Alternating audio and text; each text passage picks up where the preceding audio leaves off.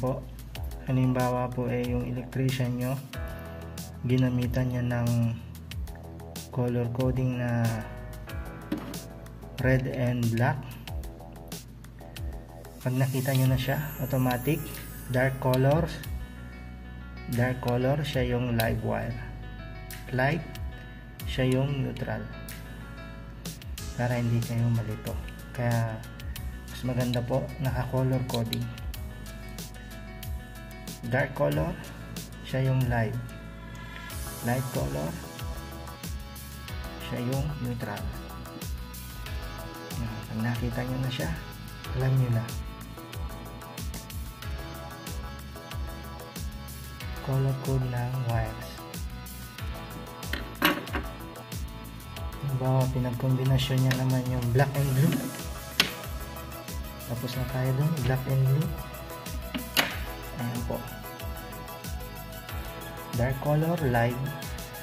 Light color, siya yung neutral or ground.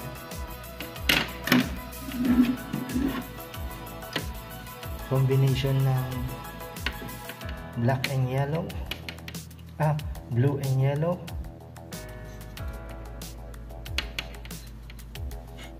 siya yung live siya yung neutral basta kung ano po yung dark color siya yung live light color si neutral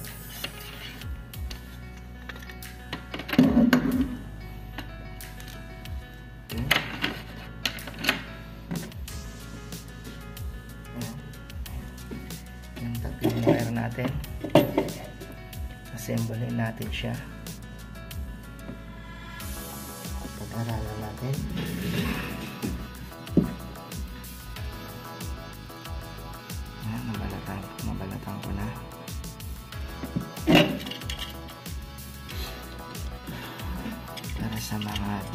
DIYers o nag-aaral ka pa lang sa electrical? Magandang pag-aralan mo muna.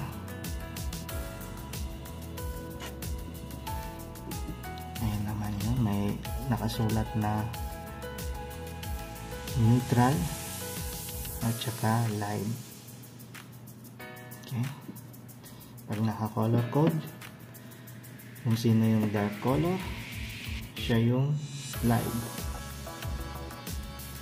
yung light color siya yung neutral. Okay? Blue and brown. Yung po yung iipit sa wire yung, yung galvanized din sa loob. Siya yung iipit. Kaya kailangan ipagitna mo siya para ipitin niya okay tusok mo na yun tusok mo rin yung brown sa live Ayan, ganun. Okay. Palalayan mo siyang itasok. Higpitan mo ng screw.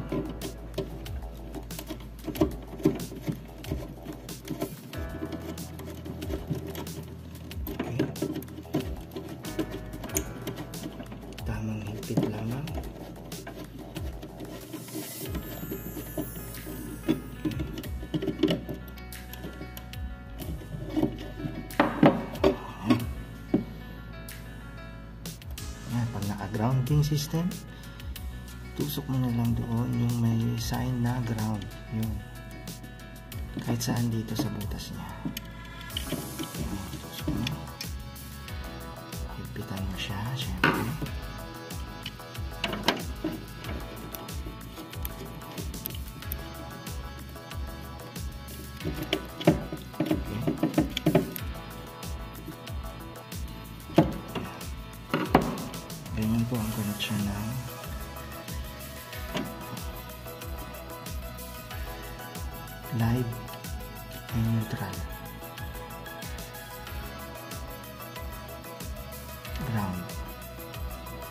Hindi ka na malilito kasi ito na mismo mag-guide sa'yo magtuturo sa'yo.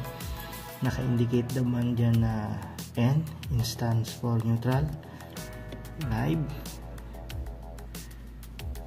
L in stands for live wire. At yung ground ganun yung symbol niya. Okay. Ayan na may extension ka na.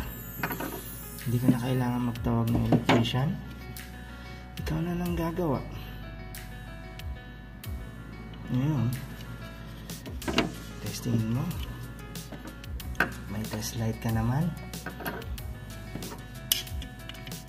Dagdagan mo ng higpit kung hindi ka sure.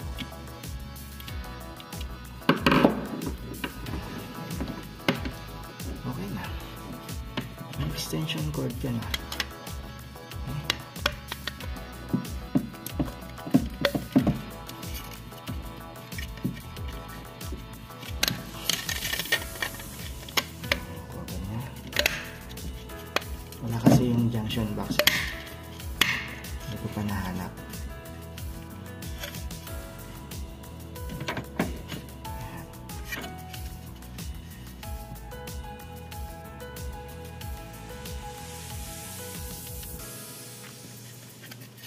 ito naman yung tubig.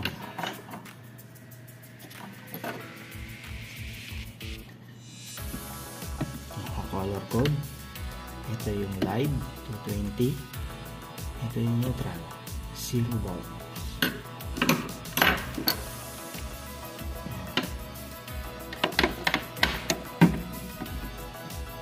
gusto nyo ma-testing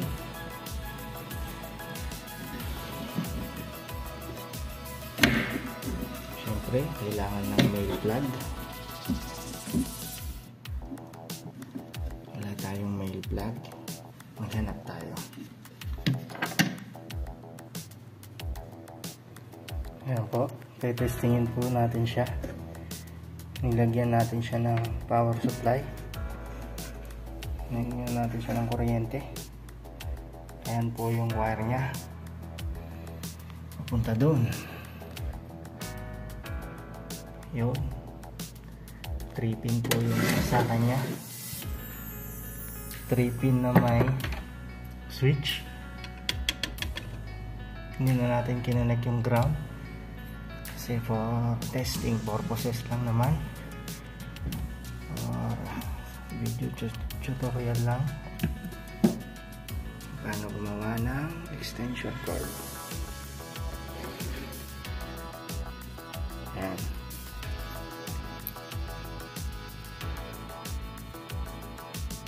dark color for light light colors neutral sa Pilipinas.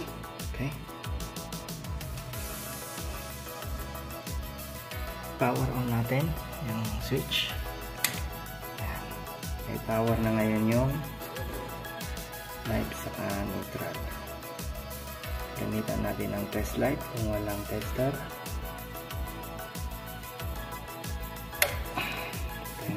ilaw. Tutusukin natin yung outlet niya. Iilaw po itong isang butas na to. Test light. Yun. Yun lang siya. May power siya nasa Middle East tayo kaya 3 phase ang linya ng kuryente. 110 yung isang butas ng outlet. 110 isang butas ng outlet. Equals 220 ground. Ito yung ground. Walang power. 0 volts. Ito yung 110 110 siya. Ayun umiilaw ang test light. May power. At isang 110 ulit na linya dahil 3 phase 220